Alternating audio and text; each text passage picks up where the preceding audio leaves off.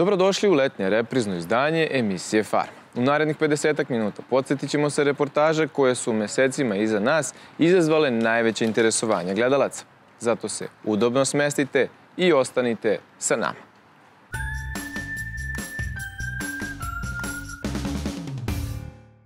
Na šta prvo pomislite kada se danas spomene tema mlečnog govedarstva? Na ogromno nezadovoljstvo stočara, na prosipanje mleka, na barikade puteva i proteste, na očaj uzgajivača stoke. U našoj emisiji smo iz epizode u epizodu izveštavali o ovoj trenutno najbolnijoj temi srpskog agrara. Donosili smo vam priče farmera koji su jedini spas videli u zatvaranju farmi, ali i priče ljudi koji su uspjeli da i u najtežim vremenima nađu svoju računicu za nastavak dalje i čekanje nekog boljeg sutra. Ipak čini se da tako ne treba i ne sme da bude jer je proizvodnja mleka jedan od temelja države, a mleko i mlečne prerađevine su jedni od najtrženijih proizvoda na srpskom tržištu. Jasno je da se svi pitaju gde je logika za sve to. Najdramatičnije je bilo početkom godine. Stočari su blokirali glavni grad i nekoliko važnih saobraćajnica u par navrata. Država je bila primorana da sedne za sto i da se nađe rešenje. A naša ekipa je posetila jednu farmu krava u Majuru, selu nadomak Šapca, kako bi saznala da li se šta promenilo za ova dva meseca. Bolje biti sam svoj gazda nego raditi za platu i uvek imati nekoga kome moraš da ispostavljaš račun. Takođe uvek je bolje zavisiti od svojih deset prstiju, pa kom opanci, kom obojci. To je filozofija koja je mladog Nikolu Bojića opredelila da u svom majuru podiže veliku farmu krava. Porodica se dugo bavila govedarstvom. Celu priču je pokrenuo Nikolin otac, a sa dolaskom mlade snage i jelanom koji je ovaj momak uneo u ceo posao, farma se iz godine u godinu širila. Oko 80 grla sveukupno je prisutno u objektima, što krava muzara, što bikova koji su u tovu. Dnevna proizvodnja mleka danas dostiže u proseku 350 litara, a zna se šta mlečno govedarstvo donosi sa sobom mukotrpan rad 365 dana u godini, nemogućnost planiranja odmora, malo slobodnog vremena, ali opet sa druge strane i redovna primanja, pa što i ne reći solidnu zaradu ako uspešno ukomponujete svaku stavku posla kao što su Bojići uspeli.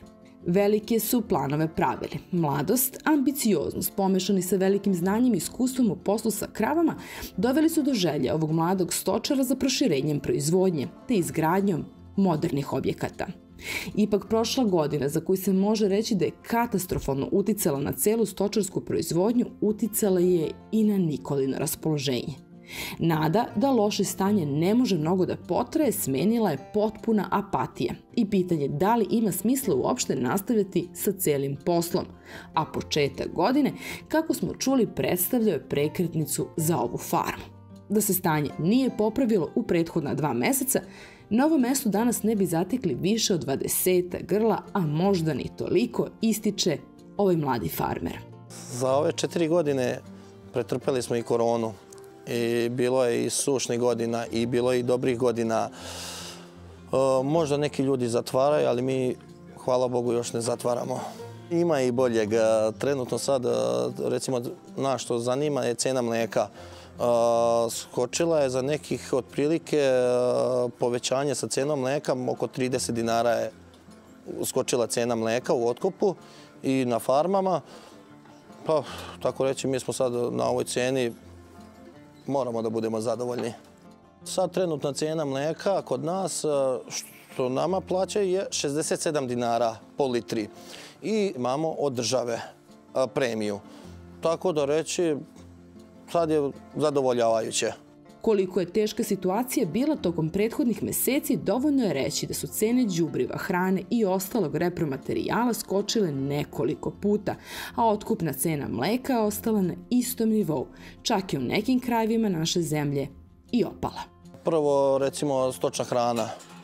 To je isto baš veliki ulaz za krave, za tov, junadi, premiksi, koncentrati, e, lucerka, silaža, senaža, to sve košta. Ali do toga treba doći kao sad ovaj mesec što smo videli e, repromaterijal, e, veštačka džubriva, hemija, semena, to jako mnogo košta da bismo došli do nečega. I sad ulažemo pa ćemo da vidimo kakva će godina biti. Na sve to nadovezala se prethodna loša godina za ratarske kulture. A koliko je podbacila godina govori u prilog činjenica da sa 60 hektara ovaj stočar nije uspeo da spremi dovoljno hrane za svoju stoku, te je već počeo da dokupljuje hranu. Pa prošla godina je loša bila, preprošla je bila dobra. Prošle godine smo baš loše prošli. Evo sad od pre pet dana smo počeli sve da kupujemo i kukuruz e, i lucijerku, sve. Znači sad nemamo ništa baš. A, sve kupujemo. Zbog svega toga je bilo teško i odlučiti se za nastavak proizvodnje, a takva je sudbina zadesila i veliki broj njegovih mačvanskih kolega. Srećom, povećanje otkupnih cena i redovne isplate svog partnera Šabačke mlekare vratile su optimizam kod Nikole, koji ponovo razmišlja da poveća proizvodnju. U ostalom, optimizam gradi na činjenici da je tov bikova sigurniji posao i da, iako ne donosi novac svakog meseca, na godišnjem nivou dobrano popuni kućni budžet. Pa vidite, sve zavisi. To junad je mnogo lakši. Baš, baš mnogo, znatno je lakši. Što se tiče e, mlečnog govedarstva, ovo mnogo teško, ali i malo više isplatljivije. Ipak e, svakih 15 dana možeš da očekuješ neko primanje, a u tovu junadi, ako je jednom godišnje, svakih 16-17 meseci ti je primanje. To, se, to je jako mala zarada. Inače, kod nas, zato što sve ostaje naša telad, pa imamo neku zaradu. Takođe valja pohvaliti i lokalnu samoupravu koja pre nekoliko godina, nedugo posle našeg prvog dolaska na farmu Bojiće, kada smo u ostalom iskrenuli pažnju da ovaj mladi stočar zaslužuje mnogo kvalitetniju infrastrukturnu podršku, reagovala i renovirala strujnu mrežu. Te danas ova farma nema problema sa snadbevanjem strujem, kojim je u prošlosti značajno sputavala proizvodnju. Pre možda otprilike četiri godine kada ste bili ovde, baš jako loša struja bila i opet, zahvaljujući vama i državi i opštini, e, dobili smo struju, ulično svetlo, sve. Eto, to nam mnogo, mnogo, mnogo znači. Muža, to je bilo katastrofa. Nije mogla mešaona da radi. Hvala Bogu, sad radi. Kada ste mladi kao Nikola i kada imate podršku porodice, a treba naglasiti da je ovaj momak i otac troje dece, čini se da je samo mala iskra dovoljna da zapali optimistični plamen. Tako i Nikola sa pozitivnim stavom ulazi u novu setvenu sezonu. Nada se da su problemi za stočare iza njih i da će u narednom periodu svako od njih zavisiti isključivo od sobstvenog rada. A ako tako i bude, nemojte se iznenaditi ako na farmu Bojića nikne još po neki objekat i broj grla se značajno poveća.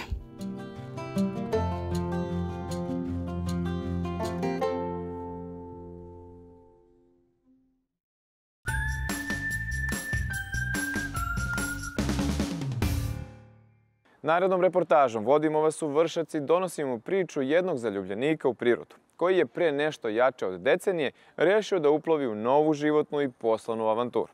O čemu se tačno radi, saznaćete u minutima koji slede. Gospodin Saša Ivanović iz Vršca Odmah pri upoznavanju sa našom novinarskom ekipom za sebe je rekao da je od uvek voleo i poštovao prirodu i rado provodio vreme u njoj, te da mu aktivnosti poput lova i ribolova nisu strane. Međutim, kako nikada nije bežao od novih avantura, pre 13 godina rešio da uplovi u nešto za njega tada sasvim drugačije. Svet pčelarstva. Volim, recimo, da kažem da volim izazove. E, video sam, imao sam drugare koji su se time bavili ovako kao hobisti i ja sam rešio da pokušam ujedno da vidim da li može to eto čisto da bude i neko dodatno zanimanje, neki dodatni prihod I pokazalo se, evo već 13-14 godina se bavim time i mogu da kažem da nisam zažalio. Ovo je stvarno jedna ljubav, jedan način života. I baš tako. Po malo iz radoznalosti, a po malo i da bi dopunio kućni budžet, naš domaćin počeo da se bavi pčelarstvom. A sa koliko košnica je počeo i šta su bili izazovi novog posla, upitali smo gospodina Sašu. U prvoj godini sam imao 30 košnica i onda je to iz godine u godinu se uvećavalo. Nisam dodatno kupovao košnice, eto ja sam rekao da pčelar treba sam da uvećava svoj pčelinjak i da proizvodi onoliko koliko može da obsluži. I došao sam do neke brojke od 120, stao sam na tom broju, ipak je to postao ozbiljan posao malo više od hobija, opet malo manje od zanimanja. Kažem, u dobrim godinama pčelarstvo može da donese solidan prihod, ali ipak ne bih preporučio ljudima koji nameravaju da se time bave da budu previše opterećeni zaradom. Jer je ovo stvarno visoko rizična delatnost. U mnogome zavisimo od prirode, od vremenskih uslova. Tako da je nemoguće planirati znači, svoj život, brinuti o porodici isključivo od. Iako izazova nikada ne manjka, da bi se uspešno borio sa onima sa kojima je to moguće, naš sagovornik morao je da se noruža znanjem. Mogu da kažem da sam samouki pčelar. Nisam imao mentora. Sve što sam naučio praktično, naučio sam koliko god sad to nekome smešno zvuči, zahvaljujući internetu.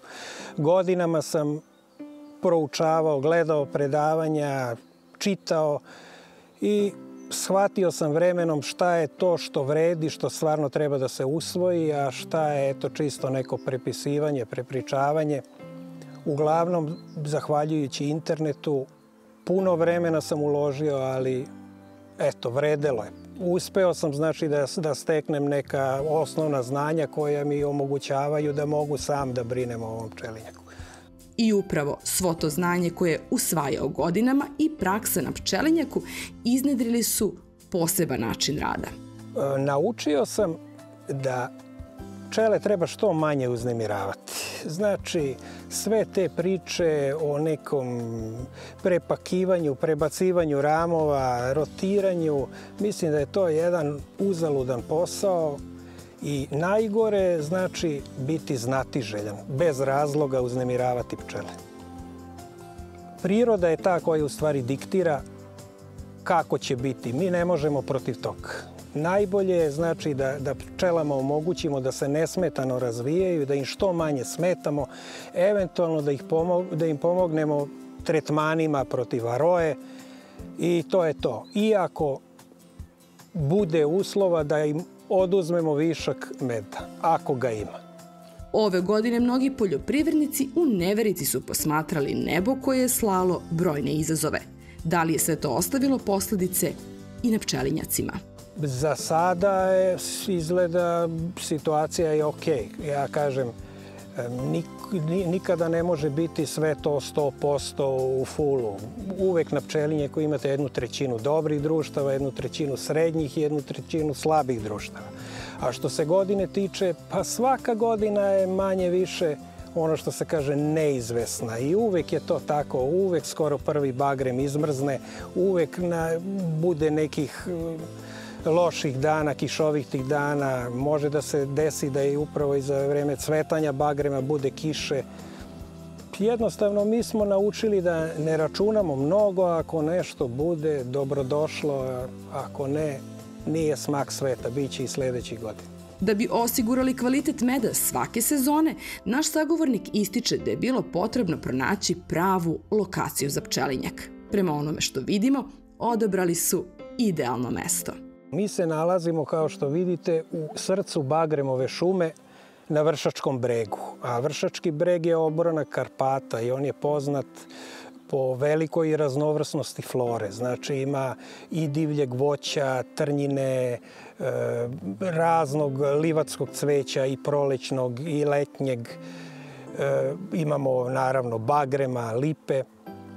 Ono što je bitno da kažem je da mi pčelarimo stacionarno. Znači, ne selimo košnice u potrazi za pašom po njivama, voćnjacima, pre svega iz razloga što je to e, i dodatni trošak i iziskuje mnogo više rada, a i mnogo je rizika da ta društva stradaju ovaj, od insekticida, pošto se sada u poljoprivredi oni masovno koriste.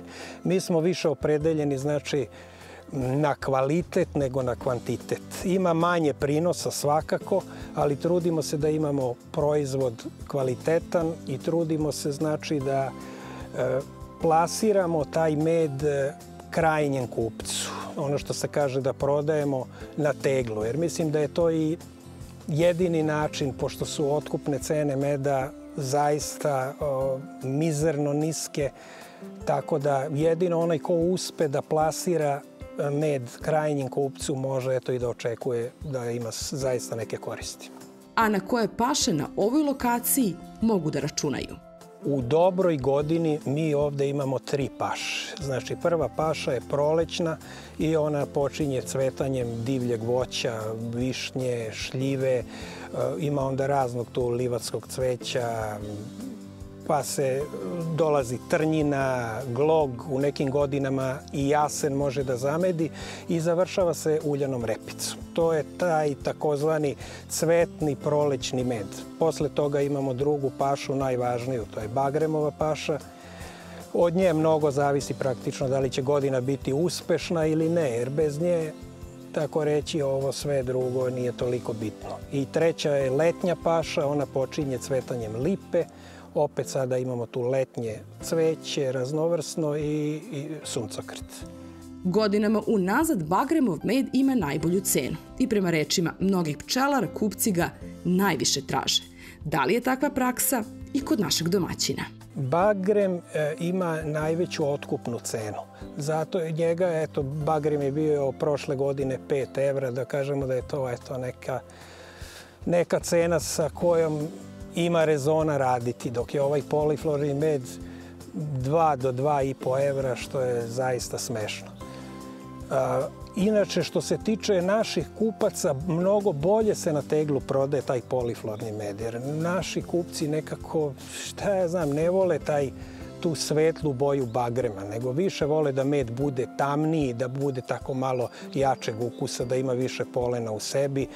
Pogotovo što se taj poliflorni med kristališe brže i ljudi sad imaju nekako e, više poverenja kad vide da se med kristališe. A kako se može doći do proizvoda sa ovog pčelinjaka? E, naši sugrađani znaju na kućnoj adresi imamo prodaju meda, a imamo i sajt na internetu mogu da nas posete, prirodni domaći med www.ko.rs. Tamo mogu još da pročitaju neke zanimljivosti. Imamo i slike da vide kako to izgleda. Imamo ponudu, cenovnik i bit će nam drago da nas kontaktiraju ljudi sa strane da probaju eto, med ovaj, sa našeg odneblja. Za celu državu se šalje i čak šaljemo besplatno za 3000 dinara, što je praktično četiri tegle. Šaljemo med o svom trošku i e, ukoliko bilo čime bude nezadovoljan kupac može da nam vrati med, mi ćemo da mu vratimo novac. Eto. Ovakva praksa prodaje ukazuje samo na jedno, da su Ivanovići sigurni u kvalitet svojih proizvoda i da stoje iza vrednog rada. Ono u što smo mi sigurni jeste da ćemo nastaviti da pratimo njihov rad. A vas pozivamo da probate ovaj eliksir zdravlja sa Vršačkog brega.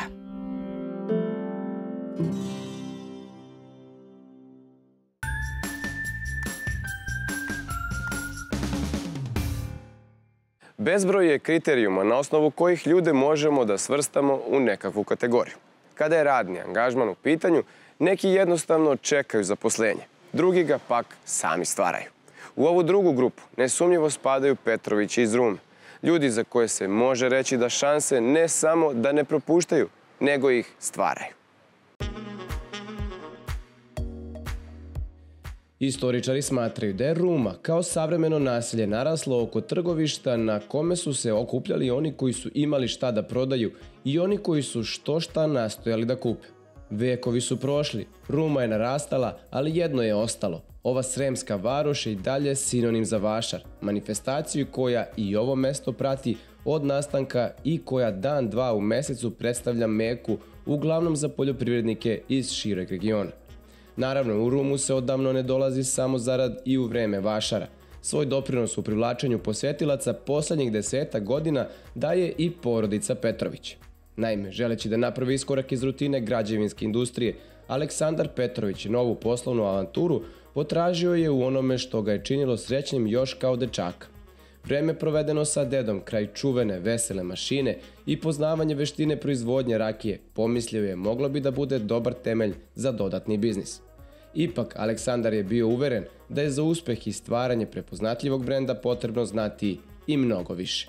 Prvo sam završio taj kurs na poljoprivrednom fakultetu u Zemunu u trajanju od četiri meseca iz razloga što sam hteo da napravim jedan otklon od svih onih narodnih recepata takozvanih ovaj, kojih ima dosta nepravilnih, netačnih i hteo sam da, da zapoštem proizvodnju koja je, ajde, na neki način utemeljena u, ipak u nauci. Ovo, ovaj, tako da smo 2011. osnovali destileriju i krenuli polako sa dve voćne vrste, Viljamovkom i Dunjom, da bismo, evo, sad već 12. godina kako radimo, ali nekih prvih 5-6 godina smo formirali, da kažem, kompletan taj naš asortiman od šest rakije i šest likera. S obzirom na činjenicu da rakiju, od kad je sveta i veka na ovim prostorima proizvodi gotovo svaki domaćin, te da baš pozivanje na tradiciju predaka za većinu predstavlja vrhunac marketinga, mnogi bi se zapitali šta tu ima još da se nauči.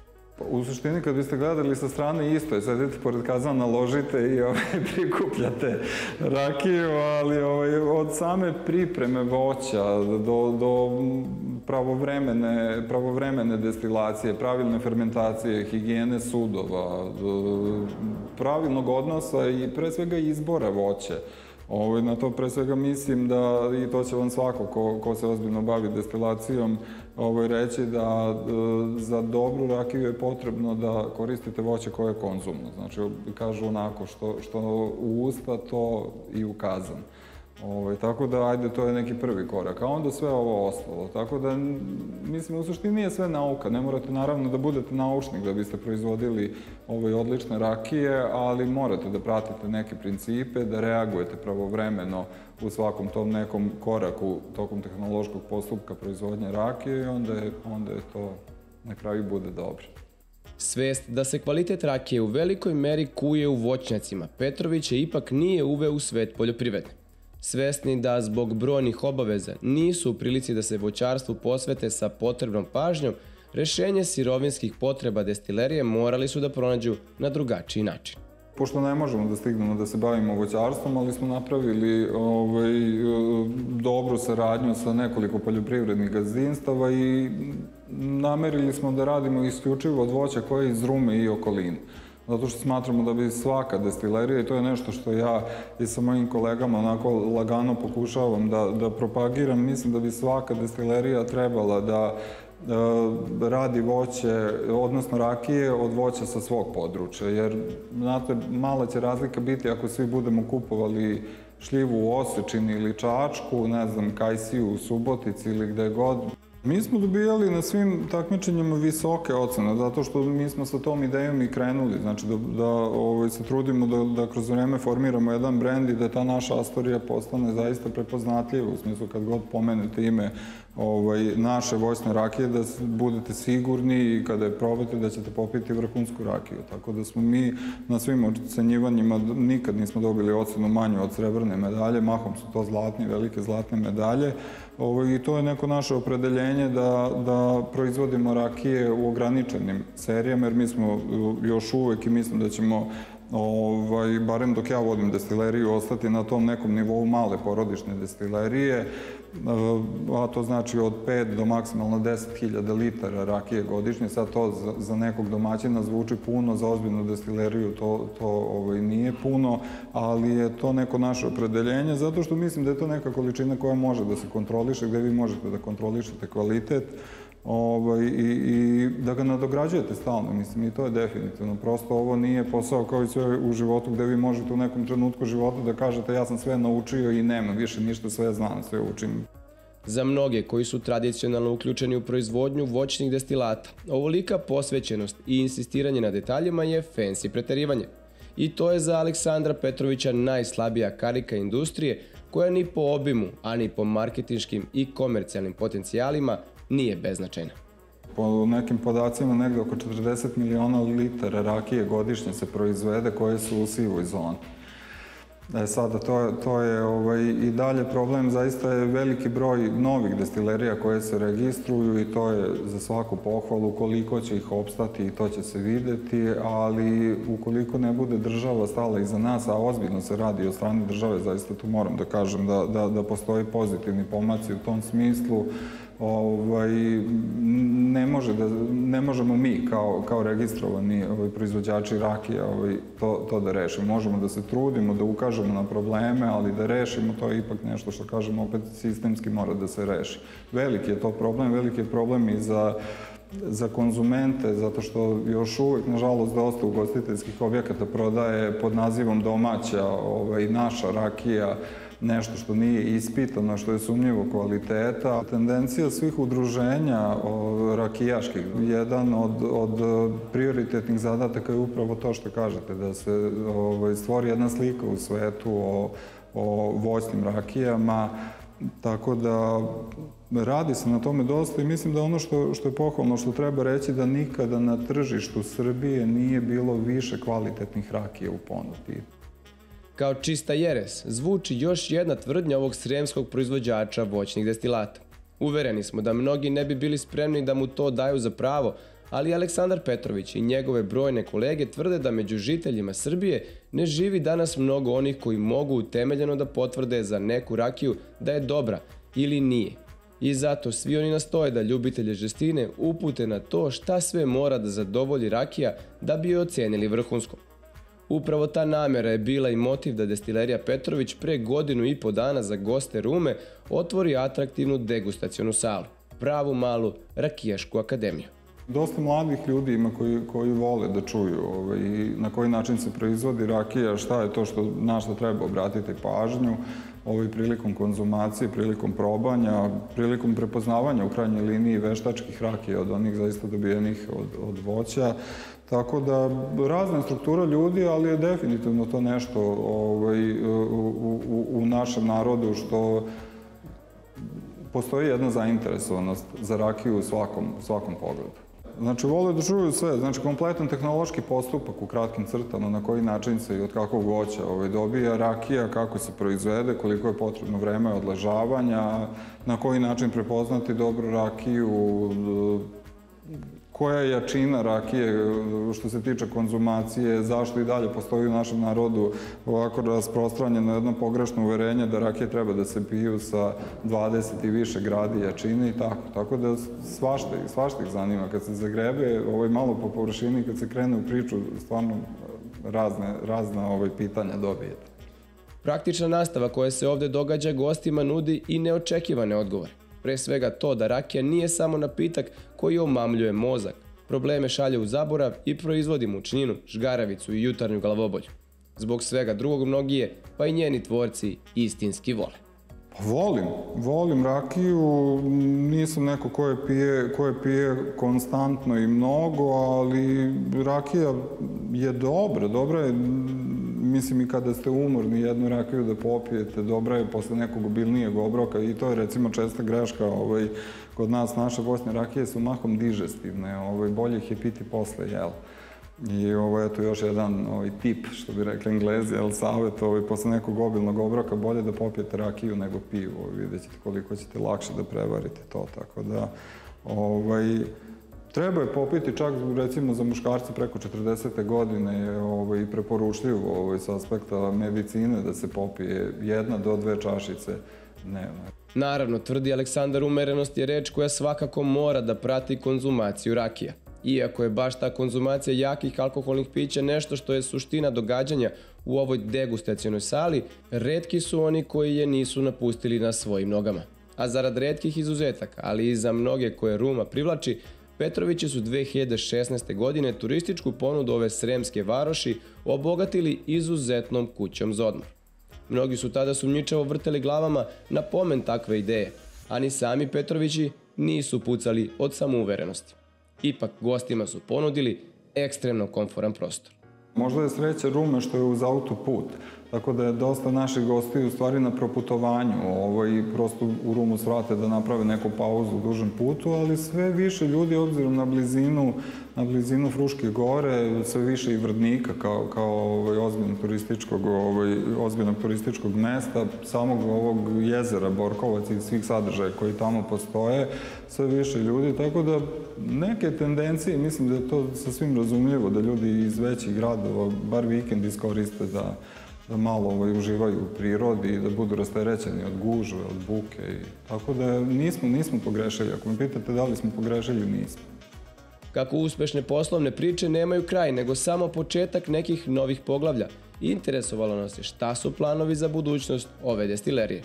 Vi za, za ozbiljnu prodaju rakije morate da imate 20-30 hiljada litara rakije na lageru, da biste, i to rakije koja je stara dve godine, što je po, priliči, po prilici limitirajući, ograničavajući faktor ovaj, u prodaji rakija. Tako da, Nadamo se da ćemo postići to, da ćemo ovaj podrum i, i ostale smeštene kapacitete popuniti vrhunskim rakijama, krenuti u ozbiljniju prodaju toga.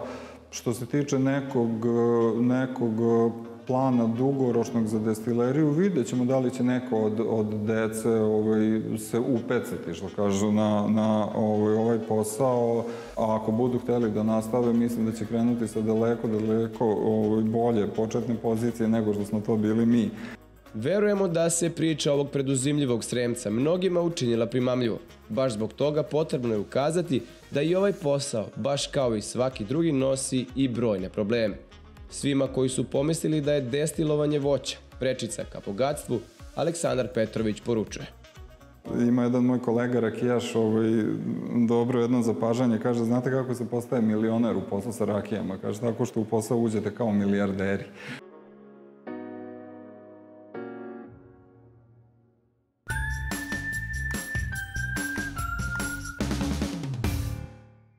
Svedoci smo poslednjih godina da se svest ljudi o zdravom načinu života sve više menja i da neke navike koje smo nasledili od prethodnih generacija polako, ali sigurno napuštaju. Jedna od navika koja se najbrže menja je definitivno ishrana.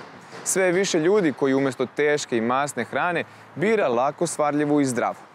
Da bi zadovoljili potrebe tržišta i novih klijenata, potrebni su proizvođači takve hrane. Na svu sreću, sve su brojniji, a jedna od njih naša ekipa je nedavno snimala u Južnom Banatu. Za bračni par Ratkovi Starčeva pre nekoliko godina otpočelo sa pravo, možemo reći, novoposlovno i životno poglavlje. Gospođa Danijela je, osluškujući svoje potrebe, ali i tržišta, rešila da se upusti u za nju tada nepoznatu avanturu.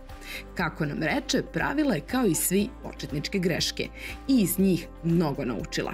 A kako je po struci diplomirani hemičar, nije se plašila eksperimentisanja, te je odvažno nastavljala dalje. I malo po malo rezultati su bili vidljivi i oblikovali su se u danas već mnogim poklonicima zdrave ishrane poznatu priču pod nazivom Grina. Ja sam to uradila iz zadovoljstva. Ako smijem da priznam, u početku to je podrazumevalo da gajim neke drugačije biljke u odnosu na one koje se uobičajeno nalaze na našem tržištu, a od kojih možemo da dobijemo puno vitamina, minerala, svega onoga što je važno kada konzumirate ono što su proizvodi biljnog porekla. To je krenulo pre nekih pet godina, otprilike, a krenulo je tako da e, su moje saznanja bila sa rekli bi e, interneta, odnosno ne postoji literatura ili nije postojala literatura, nisu postojali vojni sagovornici, već je bilo istraživanje i tu je bilo i ono malo pogrešite, malo uspeti iz prvog nešto, tako. U svakom slučaju to je bilo moje istraživanje. I tako je naša sagovornica uronila u svet proizvodnje mikrobilja i klica.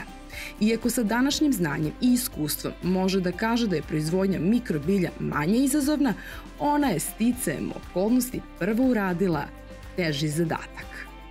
Krenule su prvo klice, e, iz razloga što je taj proces proizvodnje podrazumevao gajenje i danas gajenje na vodi samo I naravno, kao svaki početak, to je bilo u kućnoj varijanti, kuhinja i onda, pošto sada gajimo biljke na substratu koji sami proizvodimo, unošenje substrata u kuću nije baš, odnosno u kuhinju, taj prostor, nije na oduševljenje oni koji tamo žive, tako da je prvo su krenule klice, pa je onda krenulo mikrobilje. S obzirom na činjenicu da je za mnoge ova tema i dalje nepoznat teren, upitali smo kako se dolazi do semena od koga ceo proizvodni proces kreće. Nabavljali smo domaćih proizvođača, znači mogu da se poruča oni internetom, ali su nekada, odnosno u početku je to neiskustvo uh, nabavke semena, bila semena koja kada nabavite sledeći put, kada ih ponovo od istog proizvođača nabavite, baš i ne bude ono što ste ovaj, prošlo puta imali u smislu da nije energija semena, nije takva kakva je bila u početku, tako da nismo mogli da standardizujemo našu proizvodnju, pa smo se odlučili za stranog proizvođača koji se pokazao da su semena uvek podjednako dobre klijavosti i sada već poslednje tri godine ne razmišljamo na drugi način. Ali u početku nije baš bilo tako, pogotovo što i sam proces proizvodnje je bio nepoznat, tako da sam se u početku nervirala šta sve uh, uradim i šta sve ispratim, a ne ispadne dobro, a u stvari nije bilo do mene, nego je bilo do semena. E sad kad smo taj problem rešili, sada nemamo tih problema. Na prvi pogled neko ko se do sada nije bavio poljoprivredom ili sličnom delatnošću, pomislio bi da je u pitanju jednostavan posao. I moramo da kažemo da bi pogrešio. Dnevno treba vremena, u kom smislu e, mora te biljke da se zalivaju redovno, ali kada je u pitanju to zalivanje, ne mogu da se zaliju tako da, rekla bi, plivaju u vodi, nego mora da bude određene vlažnosti i sad u zavisnosti od toga kolika je i spoljašnja temperatura, jer su naše uslovi takvi da i gajimo um, koristeći sunčevu svetlost u stvari, što nam je u ovom procesu proizvodnje vrlo važno, onda to podrazumeva više sati dnevno. E, samo posaditi biljku, možda ne iziskuje puno vremena, ali vođenje računa o njoj, da, treba istrošiti više sati dnevno. Neke biljke brže rastu, neke sporije rastu, neke dosežu uh, vreme za pakovanje posle desetak dana, nekima treba čak i do tri nedelje. Ima ih za sada oko 16 vrsta, što klica, što ovaj, mikrobilja i uh, u zavisnosti od, rekli bi, potražnje kada je pitanju tržište, onda smo mi spremni da uzgajamo i one koje su na zahtev, rekli bi. Ali standardno gajimo nekih eto 16 različitih vrsta. Jako bitna karika ovog proizvodnog lanca je sunčeva svetlost. Ni malo slučajno. Ono što smo primetili jeste da te biljke su mnogo intenzivnijeg ukusa kada rastu pod sunčevom svetlošću, odnosno kada su uslovi prirodniji, rekli bi, u odnosu na one koje je veštačka svetla. U tim prostorima koji su zatvoreni je mnogo bolje kontrolisati neke uslove, ali s druge strane priroda je čudo i kada se prepustite dobijete u stvari ono što je po našem mišljenju, a i onih ljudi koji od nas kupuju, daleko ovaj, boljeg ukusa nego ono što naravno raste pod veštačkim svetlom. I to je bio razlog što istrajavamo u stvari u tome i gajimo sve ovo na suncu. Iako je gospođa Danijela idejni tvorac ovog biznisa, ne smemo da zaboravimo njenu desnu ruku i partnera, supruga Nenada, koji se naknadno uključio u proizvodnju. A kako i zašto, objasnio nam je na šaljiv način to što je radila bilo je interesantno. Ono što sam ja sve morao da probam, to baš, da priznam, nije mi bilo interesantno u početku. Ali na njeno ubeđivanje i na to kako sam se ja posle toga osjećao nakon konzumacije svega toga, ubedila me da trebam da posvetim malo više pažnje tome. Ja po vokaciji jesam mašinski inženjer, sam se u suštini bavio dobre dve decenije menadžmentom u različitim industrijama, znači bankarstva, osiguranja i u privredi sam radio. Um, I u vreme kada je ona počinjala, da, ja sam se bavio nekakvim drugim poslom, što bi rekao jedan moj bivši šef, ispunjavao sam tuđe snove. I u jednom trenutku je došla situacija, složile su se kockice da počnem da ispunjavam i svoje snove. I onda sam kao svaki muškarac na Balkanu podvio glavu i prišao svojoj ženi i rekao ja ću da ti pomognem u ovome što ti radiš.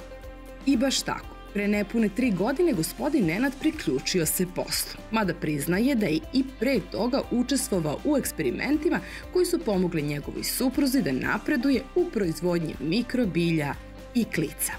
Ono što je Daniela testirala na meni, ali ja kažem, eto, tome služim u ovoj našoj priči, u posljednjoj kompaniji koju sam radio, ona me je spremala obroke. Znači, meni organizam uopšte nije tražio a, ništa dodatno, da sam ja bio usporen u prvom delu dana koji i po prirodi stvari posle kojim se bavio je najintenzivniji nekako, a, zbog sastanaka i svega onoga što se a, dešavalo a tokom prepodneva. I moj, kažemo, drugi obrok je bila večera, gde uopšte nisam imao potrebe da između, kažem, zbog ritma koji sam radio, da je, kažem, sam ja sad trebao nešto, osjećao se gladnim ili tako nešto. I to je trajalo mesecima i pokazivalo se iznova, iznova, iznova. Znači nije bilo niti je proleće, niti je jesen, pa da kažemo imate nekakvu čudnotu energiju kojom se hranite. Ne. Um, I ona je vodila o tome računa o balansu, koje će biljke ići, koje vrste klica će stavljati, koje mikrobilje, šta će još dodavati, pored, čime će to začinjavati i to imalo negde um, pun efekt na meni. Uvidevši važnost onoga čime se supruga bavi na svom primeru, naš sagovornik još glasnije je počeo da prenosi poruku o zdravom životu, navikama i ishrani bogatoj mikrobiljem i klicama. I to mu najbolje polazi za rukom na njihovom sajtu Budite zdravi.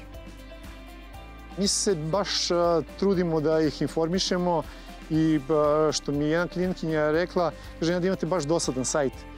Um, rekao, kako? Pa kaže ima toliko tih informacija od svakoj biljci pojedinačno, o nutritivnim vrednostima, o funkcionalnostima, o te nekim stvarima, kaže to neko treba da čita. A, ideja naša i kad smo pravili taj sajt a, na samom početku koji gledamo da updateujemo što je moguće češće, je sa idejom da ljude informišemo onome šta je to.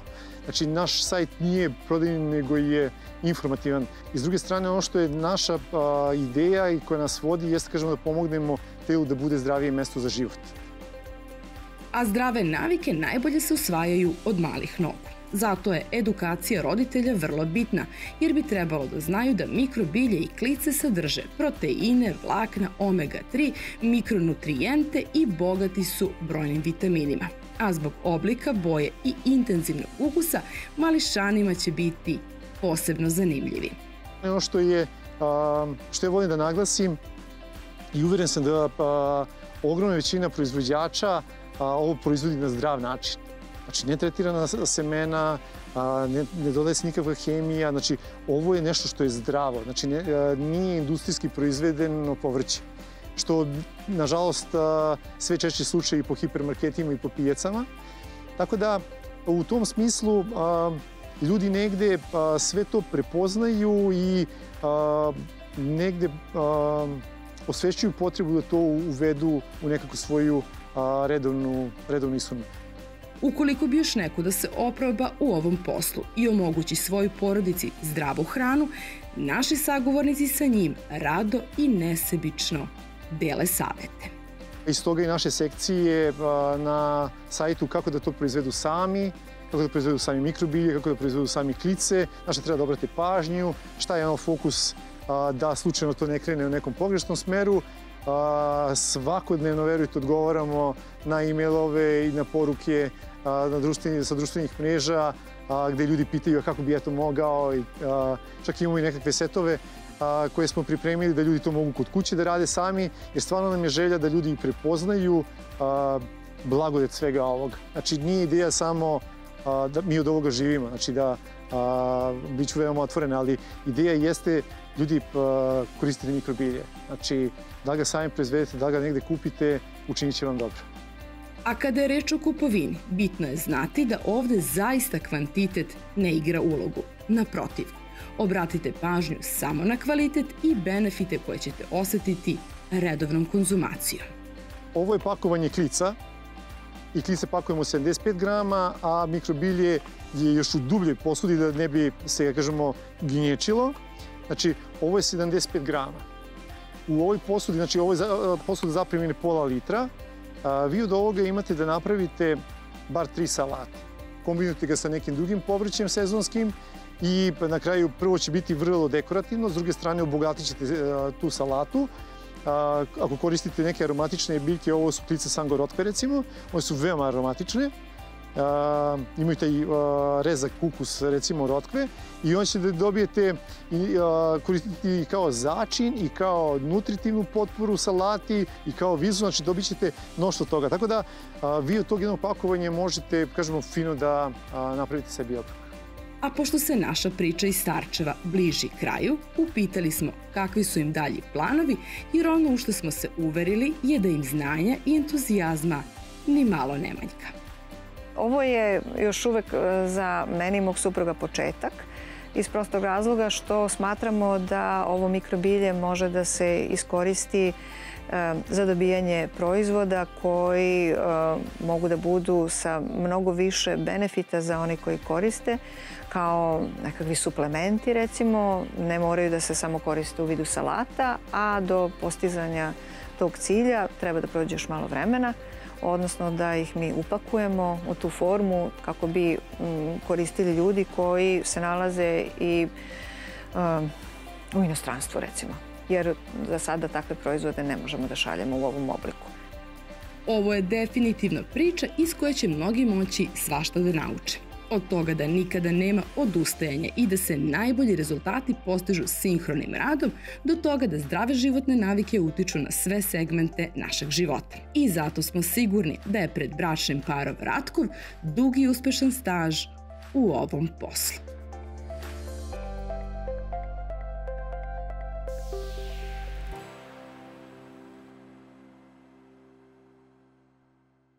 I to bi bilo sve za reprizno letnje izdanje emisije Farma. Nadamo se da ste uživali u reportažama koje su ostavile najveći trag u prethodnim mesecima. Napunite baterije, odmorite se pre svega, a naše ekipe su već na terenu i dalje vredno spremaju nove reportaže koje ćemo emitovati s početka jeseni. Za kraj, u ime ekipe emisije Farma, želim vam sve najbolje.